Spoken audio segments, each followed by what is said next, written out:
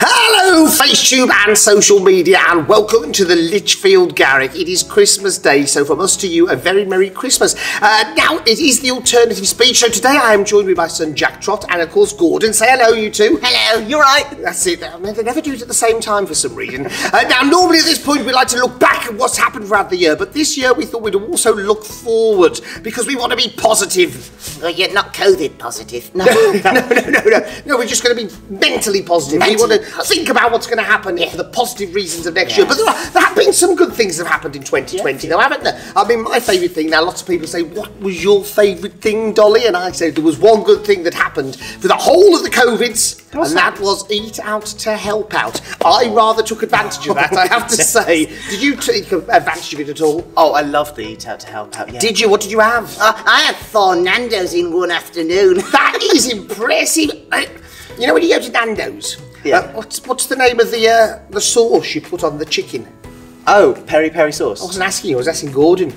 Oh, I think it's peri. I think it's peri No, no, peri I'm, sauce. I'm, I'm definitely asking Gordon the name of that sauce. Gordon, Gordon. Yeah. What is the name of the sauce you, you furry little monkey, put on the chicken? He's done to you in it here, isn't it? yes. It's uh, it's peri peri sauce. Now, if you were to go to Nando's, Gordon, how how spicy do you like your peri peri? oh, really spicy. Really spicy. Now, do you think if we ask really nicely, the nice people at Nando's are going to send us a black card?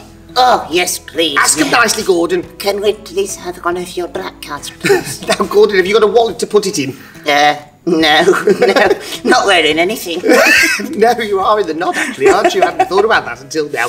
Anyway, we want to look forward as well because because we've looked back, we've thought about Eat Out to help out, but let's look forward. It is Christmas Day and nearly New Year's Day, so 2021 is arriving. So, what is going to be around next year? Well, of course, theatre will hopefully be back. There is going to be shows being booked in here at the Lichfield Garrick. But also, one of the big things that's happening, which has been moved, but it's still called the thing that was called last year, which has thrown me off slightly. Right. Uh, the Tokyo 2020 Olympic Games will be happening in 2021. but still called the Tokyo 2020 Olympic They Games. They are, they've not changed the name because the branding was already done. so they're still calling it uh, Tokyo 2020. Now, Gordon, if you were to compete in the Olympics, what would your sport be? yeah. What would it be? Uh, probably like the banana eating competition. no, I don't think, really, that, really? don't think that's a sport. no, no. You know, what? I once. I think I hold the record for eating. The, this is genuine. I think I hold the record for eating the most bananas in a minute. Like actually? Yeah, yeah. I actually. What? I tried it once.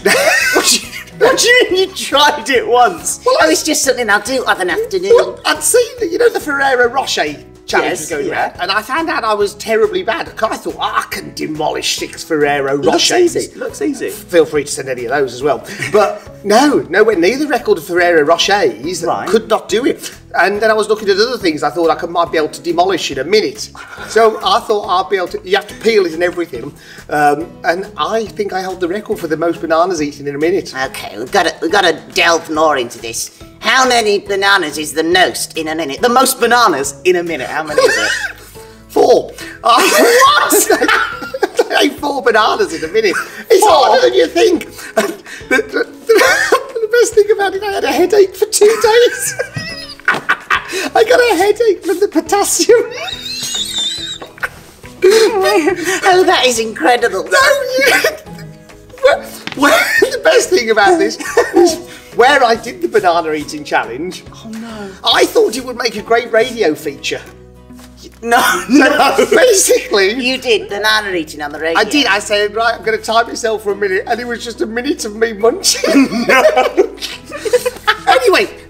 positive look backs and look forwards over the past year. We hope we've brought you a little bit of laughter. We know we're laughing um, because at the moment, what else have we got to do? We were so close to bringing you a panto this year. Hopefully, you've had a chance to watch it online. If you haven't yet, please go and watch it. You can go to the website. There is a link on there, and you can watch myself, Max Fulham from CBBC, and of course Gordon the Monkey in our online panto, Jack and the Beanstalk. We'd love you to watch, and remember, we will be bringing live theatre back in 2021.